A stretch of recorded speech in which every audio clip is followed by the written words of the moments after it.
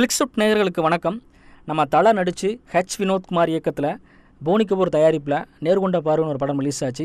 எல்லாருக்குமே பரவாயில்ல தெரிஞ்ச விஷயம் தான் அந்த படம் ஃப்ரான்ஸ் நாட்டில் வெளியிட்டிருக்காங்க. எந்த தேட்டர் வெளியிட்டிருக்காங்கன்னு பார்த்தீங்கன்னா தி கிராண்ட் லீக்ஸ் அப்படின்னு ஒரு தேட்டரில் இப்போ அது என்ன சிக்கல் அப்படின்னு கேட்டிங்கன்னா பொதுவாக நம்ம ஊரில் படம் ஏதாவது ரிலீஸ் ஆச்சுன்னா ரசிகர்களை கட் அவுட்டு பாலாபிஷேகம் ஒரு அறுவடையில் கட் அவுட் வைக்கிறது இந்த மாதிரி பிரம்மாண்ட வேலையெல்லாம் பண்ணி நம்மளே ஒரு மெர்சல் காட்டுவாங்க. இப்போது இதே மாதிரி விஷயங்கள் ஃப்ரான்ஸ் நாட்டுக்கு புதுசாக தெரிஞ்சிருக்கு போல்.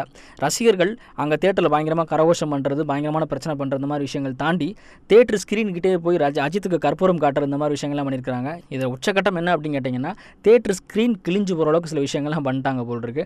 அதனால் அந்த தேட்டர் ஸ்க்ரீனை ரீஃபார்ம் அதாவது மறுசீரமைப்பு பண்ணுறதுக்கு பார்த்தீங்கன்னா கிட்டத்தட்ட ஆறு லட்சம் லட்ச ரூபா செலவாகும் சொல்லி அந்த தேட்டரோட உரிமை உரிமையாளர் சொல்லியிருக்கிறாரு.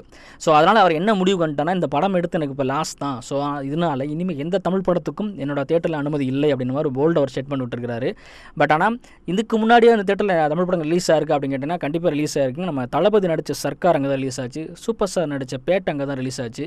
ஏன் நம்ம தலை நடித்து இதுக்கு முன்னாடி ரிலீஸ் ஆன விஸ்வாசம் படம் கூட அங்கே தான் ரிலீஸ் ஆச்சு. அப்போலாம் எந்த பிரச்சனையும் இல்லாமல் தான் ஓடிட்டு இருந்த இந்த தேட்டரில் இப்போ அது மாதிரி ஒரு பிரச்சனை கிளப்பியிருக்கிறாங்க. ஸோ இனிமேல் தமிழ் படங்களை வெளியிடுறதும் வெளியிடாமல் இருக்கிறதும் அந்த தேட்டர் உரிமையில கையில் தான் தான் இருக்குது இந்த வீடியோ உங்களுக்கு பிடிச்சிருந்தா லைக் பண்ணுங்கள் ஷேர் பண்ணுங்கள் உங்களுக்கு ஏதாவது ஒப்பீனியன் இருந்தால் கீழே கமெண்ட் பண்ணிடுங்க மறக்காமல் சப்ஸ்கிரைப் பட்டனை ப்ரெஸ் பண்ணி பக்கத்தில் இருக்க பெல் பட்டனை ப்ரெஸ் பண்ணிடுங்க